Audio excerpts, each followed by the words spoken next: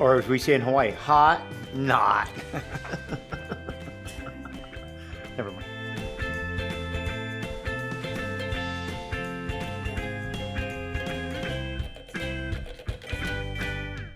Oh, definitely hot, except that I have to cook them. And we like it hot. We like the dinner hot. No, mandatory because we have to be. You have to together. together. If, if everyone's running in a million different directions, uh, we really try to make an effort to have family. Yeah, no, no cell phones at the table.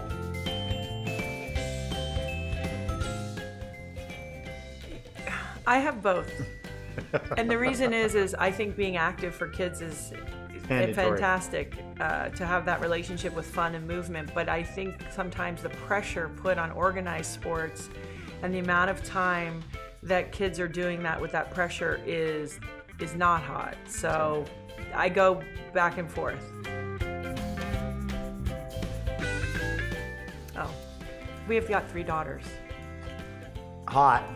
That's the only way I'm going to eat. Girl power is great. I had an incredible mother, and you know, it, it's having women be in all aspects of of their life, whatever they want to do. If they want to be into sports, if they want to have a career, if they want to be a mom and do sports and have a career like Gabby, um, that's great.